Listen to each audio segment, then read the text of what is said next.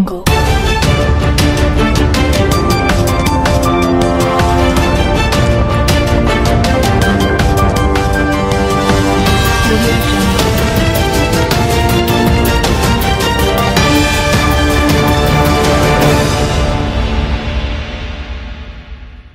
ನಮಸ್ಕಾರ ವೀಕ್ಷಕರೇ. ವಾರ್ತಾ ಜಾಲ ವಿಶೇಷ ಕಾರ್ಯಕ್ರಮಕ್ಕೆ ಸ್ವಾಗತ. ನಾನು ಪಿ ಖುಷಿ. ಇತ್ತೀಚೆಗೆ ಅಯೋಧ್ಯೆಯಲ್ಲಿ ಶ್ರೀರಾಮ ಮಂದಿರವನ್ನು ನಮ್ಮ ದೇಶದ ಪ್ರಧಾನಿ ಶ್ರೀ ನರೇಂದ್ರ ಮೋದಿ ಅವರು ಲೋಕಾರ್ಪಣೆ ಮಾಡಿದ್ದಾರೆ. ಅಯೋಧ್ಯೆಯಲ್ಲಿ ಶ್ರೀರಾಮ ದರ್ಶನ ಎಲ್ರಿಗೂ ಆಯ್ತು. ಬೆಂಗಳೂರಿನಲ್ಲಿ ಶ್ರೀರಾಮ ಚರಿತೆ ಗೊತ್ತಾಗ್ಬೇಕಲ್ವಾ? ನಮ್ ಜೊತೆಗಿದ್ದಾರೆ ಶ್ರೀ ಕೆ ಎಸ್ ವಿಜಯ್ ಕುಮಾರ್ ಅವರು. ಸರ್ ಕಾರ್ಯಕ್ರಮಕ್ಕೆ ಸ್ವಾಗತ. ಸರ್ ಈ ಬುಕ್ ಬಗ್ಗೆ ಸ್ವಲ್ಪ ತಿಳಿಸ್ಕೊಡ್ತೀನಿ ಸಾಮಾನ್ಯವಾಗಿ ನಮ್ಮ ಭಾರತ ದೇಶದ ಸಂಸ್ಕೃತಿ ಇತಿಹಾಸ ಧರ್ಮದ ಆಧಾರದಲ್ಲಿ ಹೀಗೆ ತ್ರೇತಾಯುಗದಲ್ಲಿದ್ದ ರಾಮನನ್ನು ಮತ್ತೆ ಕಾಣುವ ಒಂದು ಸೌಭಾಗ್ಯ ನಮಗೆ ಸಿಕ್ಕಿದೆ. ಸುಮಾರು ಐನೂರು ವರ್ಷಗಳ ಸುದೀರ್ಘ ಹೋರಾಟದ ಫಲವಾಗಿ ಅಯೋಧ್ಯೆಯಲ್ಲಿ ಬಾಲರಾಮನ ಪ್ರತಿಷ್ಠೆಯಾಗಿದೆ. ಈ ಪ್ರತಿಷ್ಠೆಗೆ ಸಾವಿರಾರು ಜನ, ಸುಮಾರು ಐದು ಲಕ್ಷ ಜನ ತ್ಯಾಗವನ್ನು ಮಾಡಿದರೆ ಬಲಿದಾನವನ್ನು ಕೊಟ್ಟಿದ್ದಾರೆ. ಈಗ ರಾಮಾಯಣದ ಉದ್ದೇಶ, ರಾಮಾಯಣ ನಡೆದು ಬಂದ ಹಾದಿ ಮತ್ತು ಐನೂರು ವರ್ಷಗಳ ಚರಿತ್ರೆಯ ಇತಿಹಾಸವನ್ನು ವಾರ್ಷಿಕ ಘಟನಾವಳಿಗಳನ್ನು ಈ ಪುಸ್ತಕ ರೂಪದಲ್ಲಿ ಹೊರತರಲಾಗಿದೆ ಪ್ರಪಂಚಕ್ಕೆ ನಮ್ಮ ಕರ್ನಾಟಕದ, ಕನ್ನಡದ ಒಂದು ರಾಮಾಯಣದ ಕೃತಿ ಅಯೋಧ್ಯೆ ಬಗ್ಗೆ ಮೊಟ್ಟ ಮೊದಲ ಬಾರಿಗೆ ಈ ಕೃತಿ ರಚನೆಯಾಗಿದೆ. ಆಗ ಹೋರಾಡಿದವರ ಇತಿಹಾಸ, ಅವರ ತ್ಯಾಗ ಮತ್ತು ಅವರ ಸಚಿತ್ರ, ಭಾವಚಿತ್ರಗಳೊಂದಿಗೆ ಇದರಲ್ಲಿ ಉಲ್ಲೇಖವಾಗಿದೆ. ಮತ್ತು ಸಂಪೂರ್ಣ ರಾಮಾಯಣ ಸಂಕ್ಷಿಪ್ತವಾಗಿ ಎಲ್ಲರಿಗೂ ಅರ್ಥವಾಗುವ ಹಾಗೆ ರಚಿಸಲಾಗಿದೆ. ವಾಲ್ಮೀಕಿ ರಾಮಾಯಣ ಆಧಾರಿತ ಸಣ್ಣ ಸಣ್ಣ ಮಕ್ಕಳಿಗೆ ಪ್ರಶ್ನೋತ್ತರ ರೂಪವಾಗಿ ಒಂದು ಮುನ್ನೂರು ಪ್ರಶ್ನೆಗಳನ್ನು ಮತ್ತು ಒಂದೇ ಸಾಲಿನ ಉತ್ತರವನ್ನು ಕೊಡಲಾಗಿದೆ. ರಾಮಾಯಣಕ್ಕೆ ಸಂಬಂಧಪಟ್ಟ ಎಲ್ಲ ಘಟನೆಗಳು ರಾಮನ ಜನ್ಮಕುಂಡಲಿ, ರಾಮ ವನವಾಸಕ್ಕೆ ಎಷ್ಟು ವರ್ಷ ಹೋಗಿದ್ದ, ಯಾವ ಯಾವ ರಾಜ್ಯದಲ್ಲಿ ಸಂಚರಿಸಿದ ಮತ್ತು ಆ ಸಂಚರಿಸಿದ ಸ್ಥಳಗಳು, ಎಷ್ಟು ಕಿಲೋಮೀಟ್ರು ಆಯಿತು ಮತ್ತು ರಾಮ ಸ್ಥಾಪಿತ ಶಿವಲಿಂಗಗಳು, ರಾಮನ ಆರಾಧ್ಯ ದೇವರು ಶ್ರೀ ಈಶ್ವರರು ಆ ಈಶ್ವರನ ಅನೇಕ ಪ್ರತಿಷ್ಠೆಗಳು ಶ್ರೀ ರಾಮದೇವರು ಮಾಡಿದ್ದಾರೆ. ಹೀಗೆ ಎಲ್ಲ ಘಟನೆಗಳು ರಾಮನಿಗೆ ಸಂಬಂಧಪಟ್ಟಿದ್ದು. ಅವರ ವಂಶಾವಳಿ ಮತ್ತು ಆ ರಾಮನ ದಶರಥ ಮಹಾರಾಜನ ಮಕ್ಕಳು ಸೂರ್ಯ ವಂಶದ ಒಂದು ಜನ್ಮಕುಂಡಲಿ ಮತ್ತು ಬೇರು ಅಂತ ಏನು ಕರಿತೀವಿ, ವಂಶವಾಹಿನಿ ಕೂಡ ತಾವು ಇದರಲ್ಲಿ ಕಾಣಬಹುದು. ಸರ್ ನಿಮ್ಮ ಮಾತು ಕೇಳಿದೆ, ತುಂಬಾ ಸಂತೋಷ ಆಗ್ತಾ ಇದೆ. ಈ ಪುಸ್ತಕಕ್ಕೆ ಶ್ರೀರಾಮ ಚರಿತ್ರೆ ಎಂಬ ಶೀರ್ಷಿಕೆ ನೀಡಿದ್ದೀರಿ. ಇದಕ್ಕೆ ಏನ್ ಪ್ರೇರಣೆ ಸರ್ ಸಾಮಾನ್ಯವಾಗಿ ಭಾರತದಲ್ಲಿ ಧರ್ಮವನ್ನು ಆಧಾರವಾಗಿ ಜೀವನ ನಡೆಸ್ತೀವಿ ಭಾರತಕ್ಕೆ ಮೂಲ ಮಹಾಭಾರತ ರಾಮಾಯಣ ಭಗವದ್ಗೀತೆ. ಈ ರಾಮಾಯಣದ ಚರಿತ್ರೆಯನ್ನು ನಾವು ಕನ್ನಡದಲ್ಲಿ ಕನ್ನಡಿಗರಿಗಾಗಿ ಕರ್ನಾಟಕದ ಜನರಿಗಾಗಿ ಈ ಒಂದು ಪ್ರಶ್ನೆಯನ್ನು ಪ್ರಶ್ನೋತ್ತರ ಪದವಂತೆ ಇಡೀ ರಾಮಾಯಣದ ಘಟನಾವಳಿಯಿಂದ ರಚಿಸಿದ್ವಿ. ಇದು ಸಾಮಾನ್ಯ ಎಲ್ಲರಿಗೂ ಅರ್ಥ ಆಗಬೇಕು. ಬೇರೆ ಬೇರೆ ಭಾಷೆಯಲ್ಲಿ ರಚನೆ ಆಗಿದೆ. ಈ ಶ್ರೀರಾಮ ಚರಿತೆ ಯಾವ ಅಂಶಗಳನ್ನು ಒಳಗೊಂಡಿದೆ?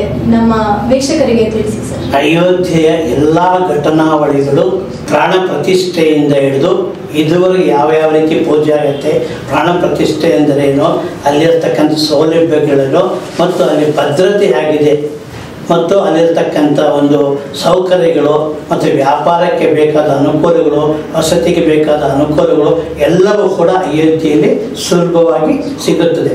ಒಂದು ಲಕ್ಷ ಪ್ರವಾಸಿಗರು, ಯಾತ್ರಾರ್ಥಿಗಳು ಪ್ರತಿದಿನ ಈ ಅಯೋಧ್ಯೆಗೆ ಬರ್ತಾ ಇದ್ದಾರೆ.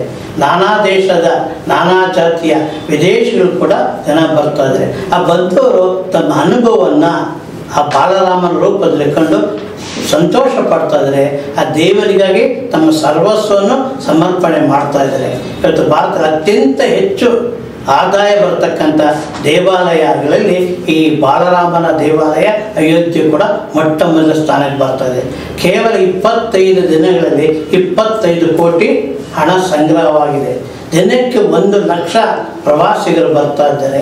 ಮತ್ತು ಅದಕ್ಕೆ ಬೇಕಾದ ಎಲ್ಲ ಸೌಲಭ್ಯಗಳನ್ನು ಅಲ್ಲಿನ ಆಡಳಿತ ಮಂಡಳಿ ಸುಲಭವಾಗಿ, ಸುಲಲಿತವಾಗಿ, ವಯಸ್ಸಿಗೆ ಅನುಗುಣವಾಗಿ ಒಂದು ವ್ಯವಸ್ಥೆಯನ್ನು ಮಾಡ್ತಾರೆ ಯಾರಿಗೂ ತೊಂದರೆ ಆಗದಾಗೆ ಹಿರಿಯರಿಂದ ಹಿಡಿದು ಕಿರಿಯರ ತನಕ ರಾಮನ ದರ್ಶನಕ್ಕೆ ಬೇಕಾದ ವ್ಯವಸ್ಥೆಯನ್ನು ವ್ಯವಸ್ಥೆ ಮಾಡಿದೆ. ಮತ್ತು ವಸತಿ ಮತ್ತು ಊಟೋಪಚಾರ, ತೀರ್ಥ ಪ್ರಸಾದ ಎಲ್ಲವೂ ಕೂಡ ಎಲ್ಲರಿಗೂ ಸು, ಉಚಿತವಾಗಿ ಅಂದರೆ ಹೆಚ್ಚು ಹಣಕಾಸು ಇಲ್ಲದೆ ಆಗ್ತಾರೆ ಮತ್ತು ಎಲ್ಲರೂ ಅದನ್ನು ಭಕ್ತಿ ಭಾವದಿಂದ ಸ್ವೀಕರಿಸ್ತಾ ಇದ್ದಾರೆ. ಪ್ರಪಂಚದ ಮೂಲೆ ಮೂಲೆಗಳಿಂದ ಕೂಡ ಬರ್ತಾ ಇದ್ದಾರೆ ಈ ದೇಶದ ರಾಮನ ಇತಿಹಾಸವನ್ನು ತಿಳಿಯೋದಕ್ಕೆ ಮತ್ತು ರಾಮನ ಒಂದು ಕುತೂಹಲವನ್ನು ಹೇಗೆ ಆಯಿತು ಅನ್ನೋದನ್ನು ತಿಳಿಸುತ್ತಾ ಇದರ ಬಗ್ಗೆ ಈ ಕೃತಿ ರಚನೆ ಆಗಿದೆ. ಸಾಮಾನ್ಯ ಈ ಕೃತಿಯಲ್ಲಿ ಎಲ್ಲ ಸಾಕ್ಷಿಗಳನ್ನು, ಈ ಅಯೋಧ್ಯೆಯಲ್ಲಿ ನಡೆದ ಎಲ್ಲ ಸಾಕ್ಷಿಗಳು ಆ ಸಾಕ್ಷಿ ನೀಡಿದವರು, ಅವರ ಭಾವಚಿತ್ರ ಯಾತಕ್ಕಾಗಿ ಈ ಅಯೋಧ್ಯೆ ರಾಮನ ದೇವಾಲಯ ರಚನೆ ಆಯಿತು. ಇದು ಎಲ್ಲರಿಗೂ ಅರ್ಥ ಆಗಬೇಕು. ಸ್ವಾಮಿ, ಇತ್ತೀಚೆಗೆ ಪುಸ್ತಕಗಳನ್ನು ಓದುವ ಸ್ವಭಾವ ಕಮ್ಮಿ ಆಗಿದೆ. ಆ ದೃಷ್ಟಿಯಿಂದ ಪ್ರತಿಯೊಬ್ಬರು ಕೂಡ ಅತ್ಯಂತ ಸುಲಭವಾಗಿ ಕನ್ನಡದಲ್ಲಿ ಅರ್ಥವಾಗಿ ಕೃತಿ ರಚನೆ ಆಗಿದೆ. ಈ ಕೃತಿ ರಚನೆಯಿಂದ ಪ್ರತಿಯೊಬ್ಬರ ಮನೆ ಮನೆಗಳಲ್ಲಿ ಕೂಡ ಅಯೋಧ್ಯೆಯ ಈ ಘಟನೆಗಳನ್ನು ಅಲ್ಲಿನ ಇತಿಹಾಸವನ್ನು, ಅಲ್ಲಿ ಪೂಜಾ ಕ್ರಮಗಳನ್ನು ನಾವು ತಿಳಿಯಬಹುದು. ಸರ್ ನೀವೊಬ್ಬ ಸಾಹಿತಿ, ಅಂದ್ರೂ ಈ ಪ್ರಶ್ನೆ ಕೇಳಬಾರ್ದು. ಸರ್, ಇತ್ತೀಚೆಗೆ ಶ್ರೀರಾಮನನ್ನು ಕೇವಲ ವ್ಯಾಪಾರಕ್ಕೋಸ್ಕರ ಬಳಸ್ಕೊತಿದ್ದಾರೆ ಅಂತ ಆರೋಪಗಳಿವೆ. ಇದ್ರ ಬಗ್ಗೆ ನಿಮ್ಮ ಅಭಿಪ್ರಾಯ? ಇದು ಸ್ಪಷ್ಟವಾಗಿ ನಿರಾಕರಿಸ್ತೀನಿ. ಧರ್ಮವನ್ನು, ದೇವರನ್ನು, ಆಲಯವನ್ನು ವ್ಯಾಪಾರಕ್ಕೆ ಎಲ್ಲೂ ಬಳಸಲ್ಲ ಬಳಸ್ತಾನೂ ಇಲ್ಲ. ನೂರ ನಲವತ್ತ್ನಾಲ್ಕು ಕೋಟಿ ಭಾರತೀಯ ಪರವಾಗಿ ಇವತ್ತು ರಾಮನ ಆಲಯ ಪ್ರತಿಷ್ಠೆಯಾಗಿದೆ. ಇದು ಎಲ್ಲ ಧರ್ಮವಾಗಲಿ, ರಾಜಕೀಯವಾಗಲಿ, ಪಕ್ಷವಾಗಲಿ ಇದಕ್ಕೆ ಸಂಬಂಧವಿಲ್ಲ ನಾವು ಕೇವಲ ಧಾರ್ಮಿಕ ದೃಷ್ಟಿಯಿಂದ ನೋಡಬೇಕೇ ವಿನಃ ಇದನ್ನು ವ್ಯಾಪಾರ ದೃಷ್ಟಿಯಿಂದ ಇದುವರೆಗೂ ಅಯೋಧ್ಯೆಯಲ್ಲಿ ಅಂಥ ಘಟನೆಗಳು ಆಗಿಲ್ಲ.